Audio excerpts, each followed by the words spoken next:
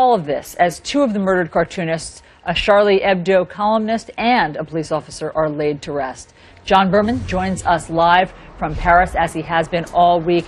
John, every single day, it seems, there's more that comes out in this investigation. What's the latest?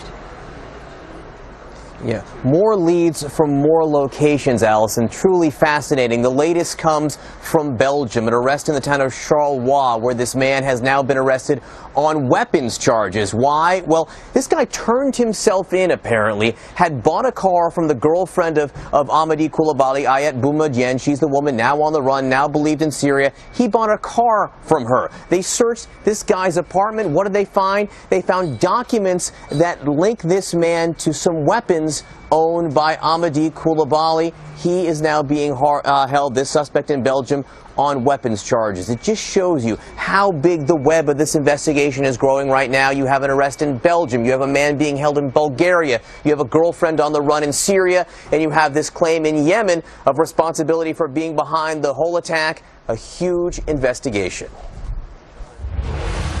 Chilling surveillance images from inside the kosher market in Paris capture terrorist Amedy Coulibaly. His three-hour siege that killed four people. Coulibaly can be seen here dressed in jeans and a t-shirt wearing what appears to be a bulletproof vest.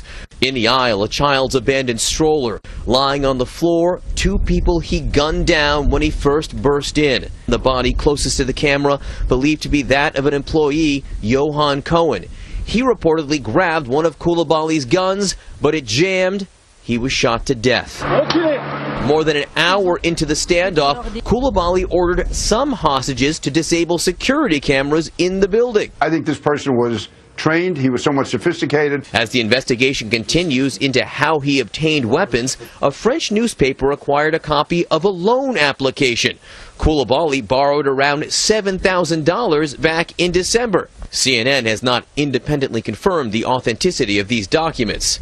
This, as another French newspaper, Le Parisien, claims that French authorities have identified an accomplice to Coulibaly.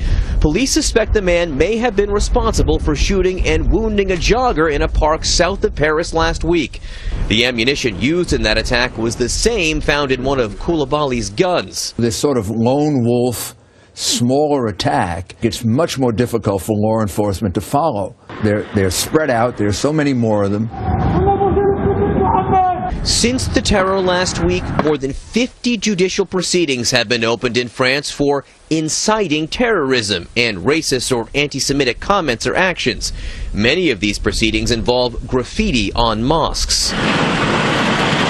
This country remains on high alert as the funerals for the victims killed in the attacks continue. We heard just moments ago from U.S. Secretary of State John Kerry, who is in Bulgaria right now. He is traveling here to Paris later today. The Secretary of State says he is coming to this country to give the people of France what he calls a big hug after last week's attack, or I suppose in French that would be a grand embrasse. Uh, and of course, the Secretary does speak perfect French, and I think he will be welcomed here by the Parisians. Allison? Yes, uh, they, we have heard that they are looking forward to his visit, even if they think that it is several days late.